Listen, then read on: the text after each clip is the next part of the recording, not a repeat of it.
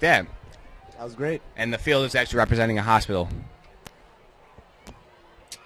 Shotgun formation.